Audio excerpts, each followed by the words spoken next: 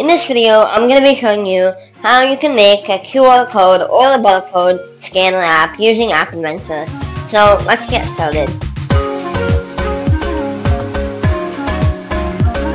Go into the App Inventor website and click on the Create Apps button. And then log in with your Google account, then you should see this screen. And click on here, Start New Project. Call it Barcode Scanner. And first, what we're to do is um, add a button. And when you press this button, the barcode scanner will open up, and then you can like scan your code. And then, so, let's change the text to scan. Next, we can make this a bit bigger, so change the width to fill parent, which is basically like the screen size, and we can set the height to like 20%. Next, change the font size to like 40, so looks good. And then, you can add the barcode scanner component. And it will open up the barcode scanner and um, you can use it to scan the barcode.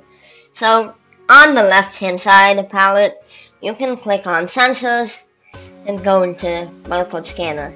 And drag this into your project. So next, we want to add a label and this label will show you like the output of the barcode. So like the result. So let's just set this text to like nothing right now. And then let's just make this a bit bigger like 50. So one more thing, make sure you uncheck this use external scanner. And then we'll go into blocks. And then here is where we can like do the like logic. And um, what you want to do is basically when the button is clicked, you want to call the barcode scanner like that. And then when the barcode is done scanning, you'll get this result. And this it contains like the text of the barcode. So what you want to do is go into the label and you want to set the text to this result like that. So when the barcode is scanned, you will um, see the text of this label to the result. So now let's test this app. So the first thing you want to do to test is to go download the AI Companion app. So go there, and then um, you can see this. So since I already have it installed, um, I can just open it. But normally for you, you'll see this like install button. So now, um, we can open this, and then you'll see this screen. And then here, what you want to do is click on connect on your computer, and then click on AI Companion. Now you'll see this QR code which you can scan. So on your phone, click on the scan button, and then scan the QR code. And now it should like load. And um, I'll show you. And the app loads up. So as you can see we have like the big scan button. And when we click on the button you'll like see um, a camera where you can scan the QR code.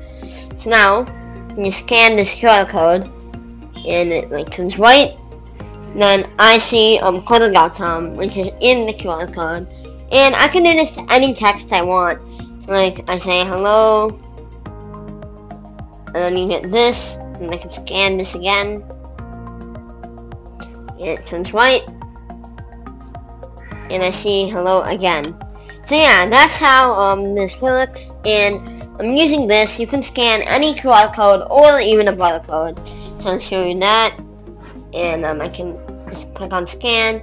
This is like the barcode for the Coding.com. And it's scanned. And as you can see, we also get Coding.com. So yeah, guys, that's how you make a QR code app. And um, you can down actually download the APK for by going to Build and click on Save APK to my computer. And this will actually download an APK file of the app, which you can use to upload to the Play Store or share with any of your friends. If you have any questions on how to make this app, make sure to leave it in a, com in a comment and I'll help you with that. And um, thanks for watching and I'll see you in the next video. Goodbye.